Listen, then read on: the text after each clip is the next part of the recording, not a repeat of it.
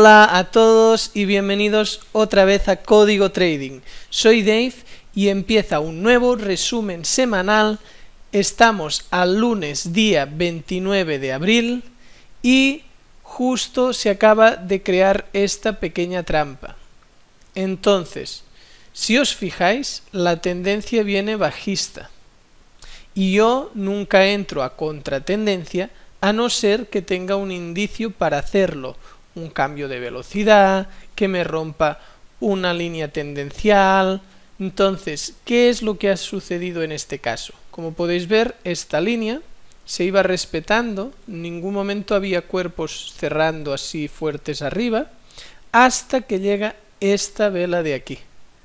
Entonces, esta vela es la primera que ya rompe fuerte lo que es la tendencia bajista, se apoya, sale justo el nivel de trampa apoyado en esta línea tendencial, hace esta subida y aquí hace la trampa, que como sabéis la trampa es una penetración al nivel. Y una cosa que me gusta mucho de esta trampa es, como ya sabéis, que los cuerpos se respetan y lo único que trampea el nivel son las mechas. Entonces, es una entrada alcista y el TP en lugar de buscar aquí, que sería exageradamente cerca, o aquí, pues he cogido ya el siguiente, el nivel a los cuerpos de este de aquí. Entonces el stop loss, como ya sabéis, eh, mucha gente pues hace eh, gestiones en las que pone el stop justo aquí. Yo me voy un poco más lejos y lo pongo aquí abajo y le doy un poquito algún pip por debajo de este bajo. Normalmente trabajo con una distancia de 0,5 a 1 a nivel de ratio beneficio-riesgo, o sea, gano 0,5 cada vez que llega TP y pierdo 1 cada vez que va un stop completo, pero como ya sabéis, uh, es muy extraño tener un stop. En este caso concreto, el ratio beneficio-riesgo casi que es 1,1. O sea, sería 0,9 a 1 más o menos. Entonces, nada, vamos a ver si realmente la rotura de esta línea tendencial bajista apoyada aquí con una trampita pequeña nos da este recorrido o no. Si se tiene que hacer algún tipo de gestión, pues volveré a eh, emitir. De momento corto aquí. Bien, estamos ya a martes día 30 y acaba de llegar a take profit en la libra dólar en H4. Como podéis ver, uh, no ha habido ningún susto, o sea, al primer momento el precio rangueó un poco y después ya se ha disparado para arriba.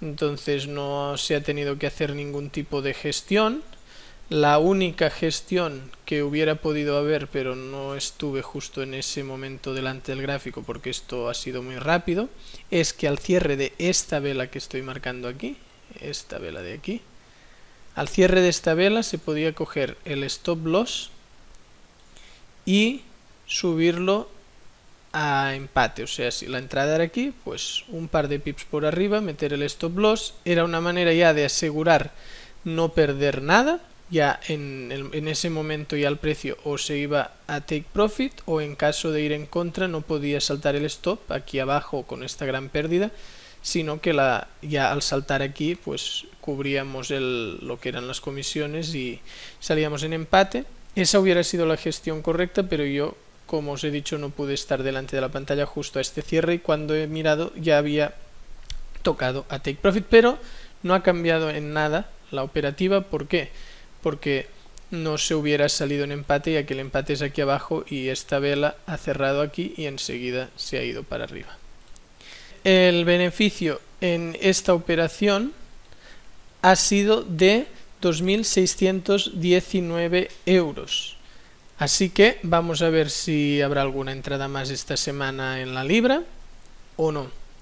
Por cierto, al final de semana hubo por aquí esto acabó la semana que podía ser una trampa, pero por aquí yo no veo niveles claros, todo esto son dojis, velas que no...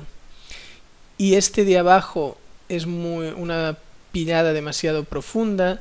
Y además yo ya tenía trazada esta línea de tendencia de aquí. Y lógicamente el hecho de entrar bajista pero justo fuera de la línea de tendencia también era otro tema. Entonces ante la duda yo no entro. Y eso me dicen uy no es muy cuantitativo es un tema perceptivo y no si yo otro trader será diferente, pero yo puedo analizar cuando yo tengo dudas y siempre tengo dudas en los mismos casos y ante la duda no entro. Entonces, como ya el tema de cerrarme aquí arriba no me acababa de gustar, a la que vi esta trampita, pues enseguida mmm, vi que como ya había roto esto me podía poner contra tendencia y esta sí que me gustaba. La de la, aquí era todo muy rebuscado. Entonces estas trampas tan rebuscadas y que si trazo aquí todo esto ya es muy grande respecto al tamaño de la trampa, porque el tamaño de la trampa es esto de aquí. Entonces no puede. Yo más o menos las pilladas las quiero como mucho del 50. Y como ya sabéis, podéis medirlo con el Fibonacci. Aquí el tamaño este respecto este más o menos es un 30% de penetración respecto al tamaño de la trampa. ¿Qué estaba pasando aquí si iba a este nivel? Porque estos de aquí no los compro como niveles. Pues que si iba aquí y el, otro extremo de la trampa era aquí, pues claro, esto respecto a esto, pues era un 90 más o menos. Entonces no me interesaba. Así que vuelvo a cortar y si hay más operaciones en la libra volveré a conectar. Bien, seguimos estando a martes día 30 en el par libra dólar en H4 y en este nivel, como podéis ver, está dando este giro. Bueno, en realidad ya lo ha dado hace dos velas. Entonces os quería explicar el por qué yo no tomo esta trampa. Entonces os recuerdo que hemos entrado aquí y hemos hecho este recorrido a contratendencia y ahora, después de haber roto esta dinámica que llevaba, que es una dinámica es que venía así, ¿no? muy comprimido, y ahora a lo mejor sigue cayendo, pero ya sigue cayendo de otro con otra dinámica, ¿veis? El, aquí va desde aquí hasta aquí y ahora a lo mejor el precio se mueve en todos estos este tamaño, que es mucho más amplio que este. Entonces, cuando rompe esta dinámica, ya sabéis que yo pues pienso que puede cambiar la tendencia y me pongo a contratendencia. Entonces, ¿por qué ahora no me pongo a favor de la tendencia que venía aquí, porque sí ha habido un retroceso profundo, pero podría entrar. Entonces, para mí, cuando la trampa ya hace todo esto y que para mí no acaba de tener fuerza en ningún lado, ¿veis cómo se va moviendo? Entonces, ¿yo cómo operaría esta trampa? Pues si, por ejemplo, el lado izquierdo fuera como es, pero después el derecho sube así y el nivel está aquí, esto sí. ¿Por qué? Porque tiene la fuerza en este lado. ¿Qué otro caso también operaría? Pues si aquí nace el nivel de trampa y esto cae así y después sube así, esto también lo operaría. ¿Por qué? Porque la fuerza está a la izquierda. ¿Qué otro caso también opero?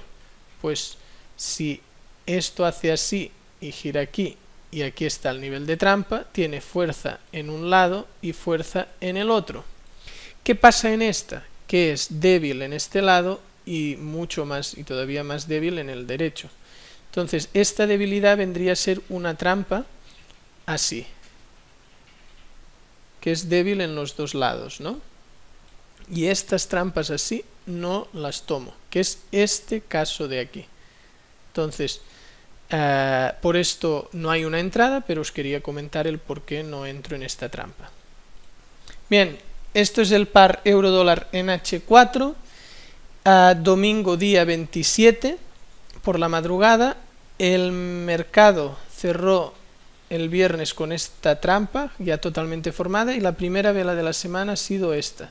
Y justo cuando ha abierto el mercado he entrado en esta trampa.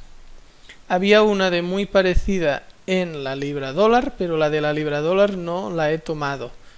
¿Por qué? Primero porque no había ningún nivel claro, la pillada en lugar de ser como esta pequeña, pues era una pillada que se iba casi al mismo tamaño que toda la trampa. En cambio aquí pilla con un tamaño moderado, hace una cosa que me gusta mucho que es mantener los cuerpos debajo del nivel, no hay cuerpos cerrando aquí arriba. Y como podéis ver, si trazo una línea de tendencia, a diferencia de la libra, esta trampa se queda dentro de la línea de tendencia. Entonces, esta es una entrada clara, mm, no opero nunca ya al final de semana, o sea, además me espero a que haya cierres. Entonces, justo cuando cerro esta vela ya se cerró el mercado. Por eso la he tomado ahora y entonces estoy buscando este recorrido que es hasta el extremo porque esta trampa vendría a ser algo así la fuerza está a la derecha y busco este recorrido y entonces el stop loss lo he colocado uh, en el siguiente alto en más o menos pues algo más del doble de lejos que lo que sería el take profit ya sabéis que eso no es exacto, que el stop busco un, un nivel técnico, pero aproximadamente la media acaba saliendo pues que trabajo con un ratio riesgo-beneficio 0,5 a 1. Así que nada, corto y cuando se tenga que gestionar o haya llegado a TP o a stop o alguna cosa, vuelvo a conectar. Estamos ya a lunes día 29 y acabo de cerrar la operación cuando ha llegado a este cierre de aquí. Entonces, ¿por qué he cerrado? Pues a ver, entre el stop y la entrada, el 50% está por aquí. Y os digo que siempre cierro cuando me cierra por encima. En este caso, le falta un poquito para llegar al 50, pero está muy cerca. Entonces, ¿qué pasa? Que cuando a eso de estar muy cerca del 50 se me suma otra cosa, que en este caso es el rompimiento de esta línea de tendencia, muy mal dibujada, pero bueno, debajo la tenéis bien dibujada, que cierra claramente, no es como aquí, aquí hizo como una trampa, porque si os fijáis no se aleja a ningún cierre muy alejado de lo que es el nivel de, trampa, es como que mechea, sí que hace algún cierre por encima, pero de forma tímida, y finalmente vuelve y rebota aquí al PIB, aquí rebotó también al PIB y ahora ¡pam! cierra fuerte, claro, con eso ya uh, no intento gestionar de mover, podría mover aquí el, el stop, el TP a empate, dejando el stop aquí a ver si hace algún pequeño retroceso y me saca, pero ya sabéis que soy muy agresivo. Entonces en esta operación se han perdido 1417,80, o sea 1417 euros de pérdida. Así que vamos a ver si en el euro dólar nos quiere dar alguna entrada más, volveré a conectar si es así, porque solamente estamos a lunes y podría ser. Bien, estamos ya martes día 30 de abril y se ha formado esta trampa. Entonces, es una trampa bajista. Aquí hemos hecho ya otra trampa bajista que hemos cerrado con una pérdida y ahora nos está dando una a favor de esta tendencia de aquí.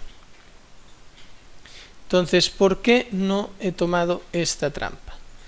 Pues por dos motivos. Primero, no tiene fuerza. Esta trampa en este lado hace como 3-4 movimientos y en este otro, con esta pausita aquí también. Entonces yo, como ya sabéis, necesito que tenga fuerza en uno de los dos lados como mínimo. Entonces, o es una trampa de un solo movimiento, que aquí estaría la fuerza, o como mucho que haga 1, 2, que también en este lado está la fuerza y está creado con 1 y 2. ¿Qué está pasando en esta trampa? Pues que hay un 1, un 2, pero si os fijáis, después hace otro bajo, que es este mechazo, o sea que hay tres movimientos. Y al otro lado, ¿cómo sube? Con un 1, un 2, bueno, el otro lado aún es peor, serían 4, algo así. Entonces, cuando es 1 o 2 se ve muy claramente. Aquí ya que un trader vea 4, otro vea 3, otro vea 5, eso no importa, porque si es sólido o de máximo 2, nadie lo discute. Entonces, esta entrada no me gusta y no la tomo. Así que vamos a ver si hay alguna otra operación en el euro dólar. Bien, pues doy por finalizada ya la semana y estos son los resultados que ha habido, como podéis ver el gráfico desde que empezamos, ya es la sexta semana y bueno, muchas gracias. Os recuerdo que hay un nuevo canal de Telegram donde comparto promociones, todo lo que haya. Si estáis en ese Telegram que tenéis en la descripción, pues no os vais a perder nada. Y así que también os pido si os gustan mis contenidos que os suscribáis, que le deis a la campanita y que visitéis códigotrading.com. Nos vemos en el próximo vídeo.